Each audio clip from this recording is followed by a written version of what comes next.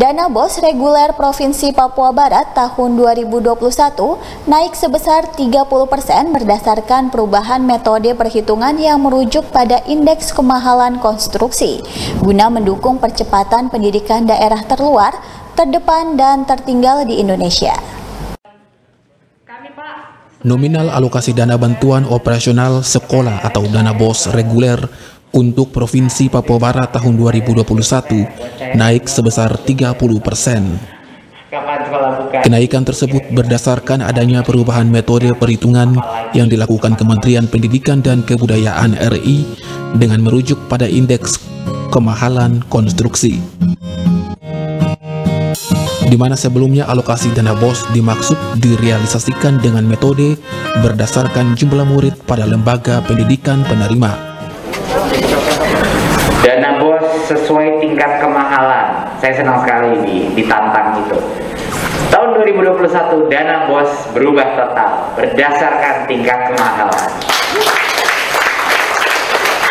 Saya baru dapat data bisa dikoreksi tadi benar apa tidak dari Mas oh Mas Eko nggak ada.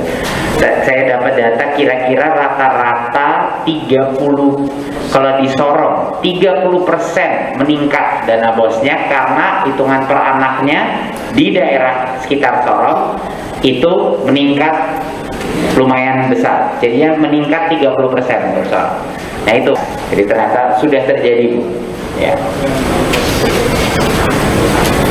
Nah untuk yang selanjutnya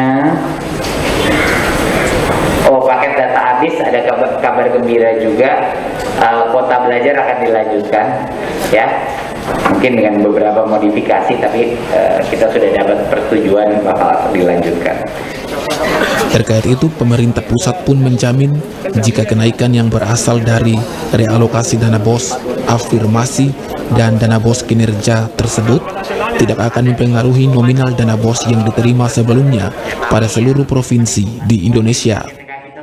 Transformasi ini dilakukan sebagai upaya pemerintah pusat dalam mendukung percepatan pendidikan pada daerah terluar, terdepan, dan tertinggal.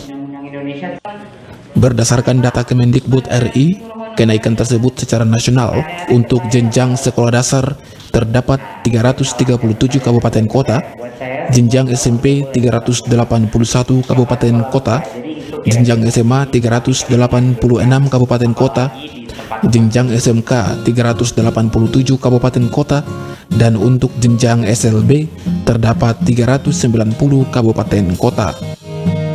Anggreni